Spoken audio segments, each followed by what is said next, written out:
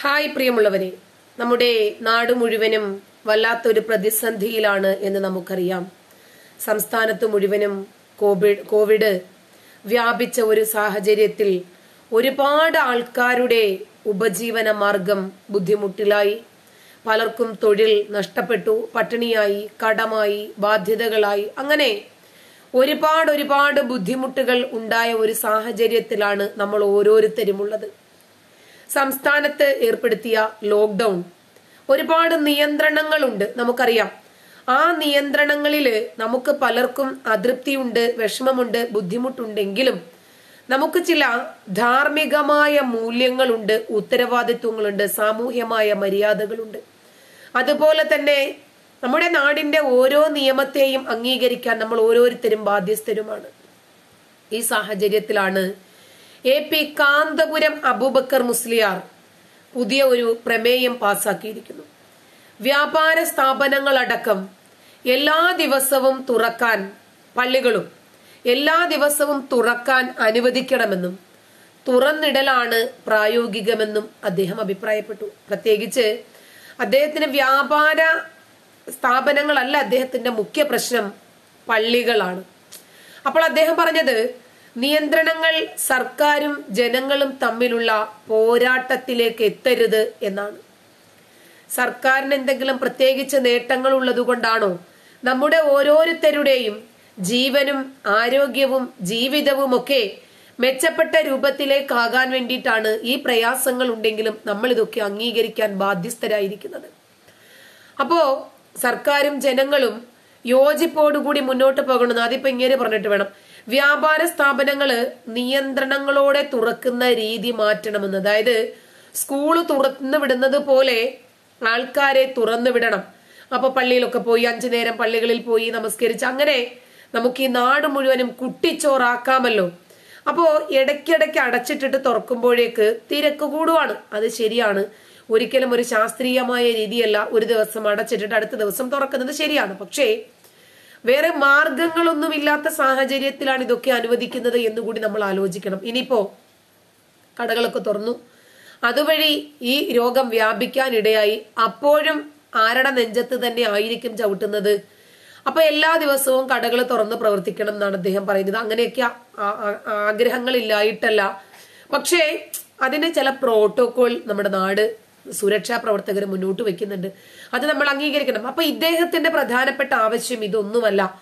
കടകൾ തുറക്കുക പിന്നെ ബിസിനസ് സ്ഥാപനങ്ങളൊക്കെ അടച്ചിടാതിരിക്കുക എന്നതിലുപരി കക്ഷി പറഞ്ഞു വരുന്നത് പെരുന്നാളിന് പള്ളിയിൽ ആളുകളെ പങ്കെടുപ്പിച്ച് പ്രാർത്ഥന നടത്താൻ സർക്കാർ അനുവാദം നൽകണം. അതായത് അള്ളാഹുവിനോട് പ്രാർത്ഥിക്കാൻ ഒരു മതമില്ലാത്ത സർക്കാരിനോട് ഇവർ അനുവാദം ചോദിക്കും ഇത് ഷിർക്കല്ലേ ഉസ്താദെ?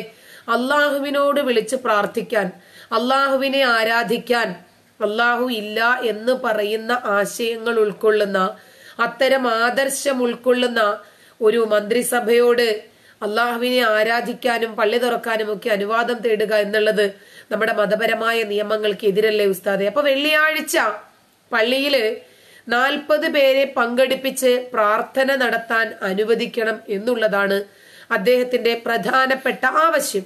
അതായത് അദ്ദേഹം ആദ്യം കൊറോണയൊക്കെ തുടങ്ങിയ കാലത്ത് കരയണതൊക്കെ നമ്മൾ കണ്ടതാണ്. അള്ളാഹുവേ പള്ളി അടച്ചിട്ട് പടച്ചോ പടച്ചോന്ന് അറിയാത്തതുപോലെ പള്ളി അടച്ചിട്ടു കൊറോണയാണ് ഞങ്ങൾക്ക് ജുമാ നിസ്കരിക്കാൻ പറ്റുന്നില്ല അല്ലാ. അതുകൊണ്ട് എത്രയും പെട്ടെന്ന് തുറന്നു തരണേ പഠിച്ചോനെ അടുത്ത ഒരു മാസത്തെ പൈസ മുന്നിൽ കണ്ടിട്ട് വരുമാന മാർഗമല്ലേ അതൊക്കെ മുമ്പിൽ കണ്ടിട്ട് പലതും ചെയ്തു വെച്ചിട്ടുണ്ട്. അപ്പോ ഇതിനെ സംബന്ധിച്ച് ഈ ഇസ്ലാമിക പണ്ഡിതരുടെ അഭിപ്രായം എന്താണ് എന്നുകൂടി നമുക്കൊന്ന് നോക്കാം. ഈ അവസരത്തിലും പള്ളികൾ തുറന്ന് അള്ളാഹുവിനോട് ആവലാദികൾ പറഞ്ഞാൽ മാത്രമേ അദൃശ്യമറിയുന്ന അള്ളാഹു ഇത് മനസ്സിലാക്കൂ. അതുവഴി പല ആൾക്കാരിലേക്കും ഈ രോഗം സ്പ്രെഡ് ചെയ്ത് ഈ നാട് മുഴുവനും ഒന്ന് നശിപ്പിച്ചു കുട്ടിച്ചോറാക്കാൻ വേണ്ടി പ്രതിജ്ഞയെടുത്ത തലക്കകത്ത് വെളിവില്ലാത്ത ഐറ്റങ്ങൾ ആശുപത്രികൾ തുറക്കണം എന്നാണ് പറയുന്നത്. നിങ്ങൾ ഒരു ആശുപത്രി കൂടെ തുറന്നോ? അത്യാവശ്യം നമ്മുടെ പ്രാദേശിക പ്രാദേശിക അടിസ്ഥാനത്തിൽ ഓരോ ക്ലിനിക്കുകൾ തുറന്നോ? അതൊന്നുമല്ല നമുക്ക് നമ്മുടെ പള്ളി പള്ളിയാണ് മുഖ്യം. നമുക്ക് എന്താണ് ഇവരുടെ സംഘടന സമിതിക്ക് പറയാനുള്ളത് എന്ന് കേൾക്കാം. പണ്ഡിതന്മാരുമായി ചർച്ച ചെയ്ത് പള്ളിയിൽ ഒരു സ്റ്റാൻഡേർഡ് ഓപ്പറേഷൻ ഓപ്പറേഷൻ പ്രൊസീജിയർ ഉണ്ടാക്കാം. നാൽപ്പത് പേർക്ക് അനുവദിക്കുമ്പോൾ എന്നതൊക്കെ ചെയ്യണം ഇന്ന രീതിയിലാവണം. രോഗവ്യാപനത്തിന് ഇടവരാത്ത വിധം രോഗവ്യാപനം കുറവുള്ള എ കാറ്റഗറിയിലും ബി കാറ്റഗറിയിലും ഇപ്പം ഓൾറെഡി പതിനഞ്ച് പേർക്ക് ഒരുമിച്ച് നമസ്കരിക്കാനുള്ള ഒരു അവസരം അവർക്ക് കൊടുത്തിട്ടുണ്ട് അനുമതി കൊടുത്തിട്ടുണ്ട്. അതിലുപരി ഇവർക്ക് നാൽപ്പത് വേണമെന്നാണ് ഇവർ ആവശ്യപ്പെടുന്നത്. സ്റ്റാൻഡേർഡ് ഓപ്പറേറ്റിംഗ് പ്രൊസീജിയർ വേണമെങ്കിൽ ഇത്തരം കാര്യങ്ങൾക്ക് ഗവൺമെന്റിന് നിർദ്ദേശിക്കാവുന്നതാണ്. ഗവൺമെന്റിന്റെ നിർദ്ദേശങ്ങൾ അംഗീകരിക്കാൻ സമൂഹം സന്നദ്ധമാണ്. നാൽപ്പത് പേർക്ക് ഒരുമിച്ച് കൂടാൻ എന്തൊക്കെയാണ് നിബന്ധന വേണ്ടത്? കൈകൾ കഴുകിയേ പ്രവേശിക്കാൻ പാടുള്ളൂ. അങ്ങനെ നിയമം അംഗീകരിക്കാം അതുപോലെ തന്നെ വീട്ടിൽ നിന്ന് ശുദ്ധീകരിച്ച് വരണമെങ്കിൽ അങ്ങനെ ചെയ്യാം. മുസല്ല കൊണ്ടുവരണമെങ്കിൽ അങ്ങനെ ചെയ്യാം. അകലം എത്രയാണോ നിർദ്ദേശിക്കുന്നത് അതനുസരിച്ച് പാലിക്കാം. എല്ലാം തുറന്ന് പ്രവർത്തിക്കുമ്പോൾ പ്രത്യേകിച്ച് ഇവിടെ എടുത്തു പറയാനുള്ളത് വെള്ളിയാഴ്ച എല്ലാത്തിനും ഇളവ് അനുവദിച്ചുകൊണ്ട് മാർക്കറ്റുകളിലും പൊതുനിരത്തിലും ആളുകൾ നിറഞ്ഞു കവിയുകയാണ്. അടുത്ത രണ്ട് ദിവസങ്ങളിൽ പുറത്തിറങ്ങാൻ പ്രയാസമുണ്ടെന്ന് മനസ്സിലാക്കി തലേ ദിവസം ജനങ്ങളൊക്കെ വെള്ളിയാഴ്ച റോഡിൽ നിറയുകയാണ്. അതിന്റെ ഒരു കാൽഭാഗം ആളുകൾ മാത്രമേ പള്ളിയിൽ വരേണ്ടതുള്ളൂ. ഒരു നാൽപ്പത് പേർക്കെങ്കിലും പ്രവേശിച്ച് മതപരമായ നിർബന്ധമുള്ള ഈ കടമ നിർബന്ധം എന്ന് പറയാൻ കാരണം പലരും ചോദിക്കും നേരത്തെ നിർബന്ധം ഉണ്ടായിരുന്നില്ലേ? ഉണ്ടായിരുന്നു പക്ഷേ എല്ലാം അടച്ചിട്ട സാഹചര്യത്തിൽ ജുമാക്ക് പണ്ഡിതന്മാർ സാധ്യമാകാത്തത് കൊണ്ട് വീട്ടിൽ വെച്ച് നമസ്കരിച്ചാൽ മതി എന്ന് നിർദ്ദേശിച്ചു. അവിടെ ജുമ മാറ്റിവെച്ചു കാരണം ജുമഴക്ക് പ്രതിബന്ധമുണ്ട്. ഇപ്പോൾ ജുമഴക്ക് ഒരു പ്രതിബന്ധം എന്ന് പറയാനൊന്നില്ല കാരണം ഒരു ജുമഴക്ക് കൂടേണ്ട അത്രയും ആളുകൾ ഒരു ബസ്സിൽ ഇവിടെ സഞ്ചരിക്കുന്നുണ്ട്. ബസ്സിൽ എത്ര പേർ സഞ്ചരിക്കണമെന്ന് സർക്കാർ നിർദ്ദേശമുണ്ടെങ്കിലും ആ നിർദ്ദേശം പാലിക്കാതെ പ്രൈവറ്റ് ബസ്സുകളും K S R T C ബസ്സുകളും നമ്മുടെ മുമ്പിലൂടെ ഓടുന്നുണ്ട്. അത്തരമൊരു പ്രത്യേക സാഹചര്യത്തിൽ അത്രയും ആളുകൾക്ക് നിബന്ധനകൾ പാലിച്ചുകൊണ്ട് പള്ളിയിൽ ഒരുമിച്ച് കൂടുന്നതിന് എന്താണ് തടസ്സം? പരാതി വന്നാൽ പല സ്ഥലത്തും കേസെടുക്കുന്നുണ്ട്. നിയമം ലംഘിച്ചുകൊണ്ട് ചുമ നടത്തുന്നതിനേക്കാൾ ഏറ്റവും നല്ലത് നിയമം പാലിക്കുന്ന ഒരു സമൂഹത്തിന് നിയമപരമായ അനുമതി നൽകലാണല്ലോ. ആ അനുമതിയാണ് നമ്മൾ ആവശ്യപ്പെടുന്നത്. നേരത്തെ ഗവൺമെന്റ് സ്വീകരിച്ചിരുന്ന തെരഞ്ഞെടുപ്പിന്റെ മുമ്പിലുള്ള ഒരു നയമുണ്ട്. ഈ ലോക്ഡൌൺ നീട്ടുമ്പോൾ ഒരു ഓൺലൈൻ കോൺഫറൻസ് വിളിക്കും. ഒരു വീഡിയോ കോൺഫറൻസ് എല്ലാ പണ്ഡിത സംഘടനകളെയും അറിയിക്കും. എന്നിട്ട് അവരോട് അഭിപ്രായം ചോദിക്കും. ഇപ്പോൾ ലോക്ഡൌൺ നീട്ടുമ്പോൾ ഒരു അഭിപ്രായവും പണ്ഡിതന്മാരെ വിളിച്ചുകൂട്ടി ചോദിക്കുന്നില്ല. അങ്ങോട്ട് വിളിക്കുക എന്നല്ലാതെ പണ്ഡിതന്മാരെ യോഗം വിളിച്ചുകൊണ്ട് ഓൺലൈൻ കോൺഫറൻസ് വിളിച്ചുകൊണ്ട് നേരത്തെ തെരഞ്ഞെടുപ്പിന് മുമ്പിൽ എനിക്ക് ജഗതിയുടെ ഒരു ഡയലോഗാണ് ഓർമ്മ വന്നത് താനാരുവാ എന്ന് ചോദിക്കില്ല. അതുപോലെ നമ്മുടെ സർക്കാർ ഒരു പൊതു നിയമം നടപ്പിലാക്കുമ്പോൾ മതപണ്ഡിതന്മാരോട് ആലോചിക്കണം എന്ന് പറയുന്ന ഒരു നിയമത്തെ അംഗീകരിക്കുന്ന ഒരു സർക്കാരാണോ നമ്മുടെ ഇടയിലുള്ളത്? ആണ് ലോക്ക്ഡൌണിൽ കാര്യങ്ങൾ ചെയ്യേണ്ടത് പള്ളിയുടെ കാര്യം എന്ത് അതുപോലെ തന്നെ മറ്റ് ആരാധനകളുടെ കാര്യം എന്ത് എന്ന് ഗവൺമെന്റ് ആരാഞ്ഞിരുന്നു പണ്ഡിതാഭിപ്രായം സ്വീകരിച്ചിരുന്നു. അത് കൂടുതൽ രോഗവ്യാപനമുള്ള സന്ദർഭത്തിലുമായിരുന്നു. ഇപ്പോൾ അത്രയൊന്നും രോഗവ്യാപനമില്ല. എന്നാൽ പള്ളികൾ അടച്ചിടുമ്പോൾ പള്ളിയിൽ പതിനഞ്ച് പേരെ അനുവദിക്കുന്ന ഒരു സാഹചര്യം വന്നപ്പോൾ ഒരു വീഡിയോ കോൺഫറൻസും നടത്തിയിട്ടും ഒരു പണ്ഡിതന്മാരും പറഞ്ഞിട്ടുമല്ല പതിനഞ്ചാക്കിയത്. കേരളത്തിലെ എല്ലാ മതസംഘടനകളും ഒത്തുചേർന്നുകൊണ്ട് മുഖ്യമന്ത്രിക്ക് എഴുത്തു കൊടുത്തു അതിന് പുറമെ കേരളത്തിൽ സമസ്ത കേരള ജംഹയ്യത്തുലമ എന്ന പണ്ഡിത സഭ നേരിട്ട് എഴുത്തു കൊടുത്തു സമത്തയുടെ ആലിമീങ്ങൾ പത്രദ്വാര മീഡിയകൾ വഴി അഭ്യർത്ഥിച്ചു. ഇന്നും അത് പത്രത്തിൽ സമത്തയുടെ ആലിമീങ്ങൾ അഭ്യർത്ഥന പുറപ്പെടുവിച്ചിരിക്കുന്നു.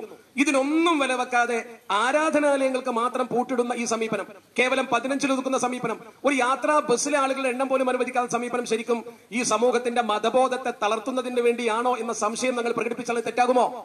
മതത്തിന്റെ വീക്ഷണകോണിൽ പ്രവർത്തിക്കുന്ന ആളുകളുടെ ആരാധനയെ തളർത്തിക്കൊണ്ട് സമൂഹത്തിന് പള്ളിയോടും അതുപോലെ തന്നെ ആരാധനാലയങ്ങളോടും കമ്മിറ്റ്മെന്റ് ഇല്ലാത്ത ഒരു സമൂഹത്തെ വളർത്താനാണോ ശ്രമിക്കുന്നത്? ഇത് മാത്രമാണ് ഞങ്ങൾക്ക് ചോദിക്കാനുള്ളത്. അത്തരം ഒരു സമീപനമാണ് സർക്കാർ സ്വീകരിക്കുന്നതെങ്കിൽ ഇതൊരു ജനകീയ പ്രക്ഷോഭത്തിലേക്ക് പോവുകയും ഈ സമൂഹം ശക്തമായി പ്രതി നിങ്ങൾക്ക് ഒന്നേ ആവശ്യമുള്ളൂ ഞങ്ങളുടെ ഉസ്താദുമാരുടെ അനുമതി മാത്രമേ ആവശ്യമുള്ളൂ.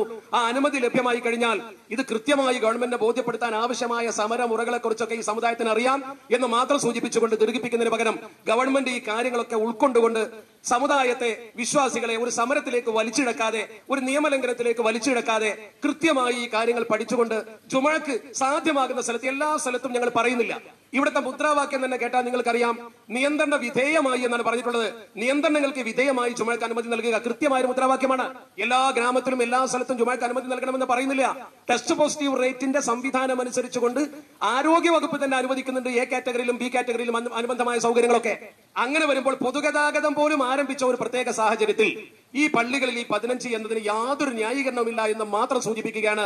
അതുകൊണ്ട് ഇക്കാര്യം ഗവൺമെന്റ് പുനഃപരിശോധിക്കണമെന്ന് സമാധാനപരമായി യാതൊരു തരത്തിലും നിയമലംഘനം നടത്താതെ വളരെ സമാധാനപരമായി ഈ കാര്യം ഗവൺമെന്റിനെ അറിയിക്കാനുള്ള ഒരു സമരമുറ മാത്രമാണ് സ്വീകരിച്ചത്. ഞങ്ങളുടെ ഓരോ അണികളോട് മലപ്പുറത്തേക്ക് നിങ്ങൾ വരരുത് എന്നാണ് പറഞ്ഞിരിക്കുന്നത്. പലരും വിളിച്ചു ചോദിച്ചു മലപ്പുറത്ത് വരട്ടെ ഞങ്ങൾ ആ സംഗമം വലുതാക്കട്ടെ. ഒരിക്കലും പാടില്ല. കാരണം കോവിഡ് സമയമായതുകൊണ്ട് പ്രോട്ടോകോൾ പാലിക്കാൻ ഉസ്താദുമാർ നിർദ്ദേശിച്ചിട്ടുണ്ട്. അതുകൊണ്ട് അത്ര ആളുകൾ മാത്രമേ വരാൻ പാടുള്ളൂ എന്ന കർശന നിർദ്ദേശവും അവർക്ക് വീടുകളിൽ പ്ലാക്കാർഡ് പിടിക്കാനുള്ള ഒരു ഒരു ജോലിയും കൊടുത്തുകൊണ്ടാണ് ഞങ്ങൾ നടത്തിയത് എന്നുകൂടി സൂചിപ്പിക്കുന്നു. അതുകൊണ്ട് ഈ സമാധാനപരമായ സമയത്തെ ഗൗരവപൂർവം കണ്ടുകൊണ്ട് ഇതിനപ്പുറത്തുള്ള ഒരു സമരത്തിലേക്ക് സമുദായത്തെ നയിക്കാതിരിക്കണമെന്ന അഭ്യർത്ഥനയോടുകൂടി ഞാൻ അവസാനിപ്പിക്കുന്നു. അസ്സലാമു വലൈക്കും വറഹമത്തുള്ളാഹി വബറകാത്ത് നമസ്കാരം. അതായത് പള്ളി തുറക്കാത്തതാണ് ഇവരുടെ പ്രശ്നം. പള്ളിക്കുടം തുറക്കാത്തതല്ല. ഇപ്പൊ കൊറോണ പകരാൻ നാൽപ്പത് മിനിറ്റ് വേണോ? വേണ്ട. അപ്പോൾ കഴിഞ്ഞ വർഷവും അടച്ചിട്ടിരുന്നല്ലോ. അപ്പോഴൊന്നും പ്രശ്നങ്ങളൊന്നും ഇല്ലായിരുന്നല്ലോ ഇവിടെ അമ്പലം തുറക്കാത്തതിന്റെ പേരിലോ ചർച്ചുകൾ തുറക്കാത്തതിന്റെ പേരിലോ എവിടെയെങ്കിലും നിങ്ങൾ ഇത്തരം പ്രകടനങ്ങളോ വല്ലതും കണ്ടോ? ഇല്ല.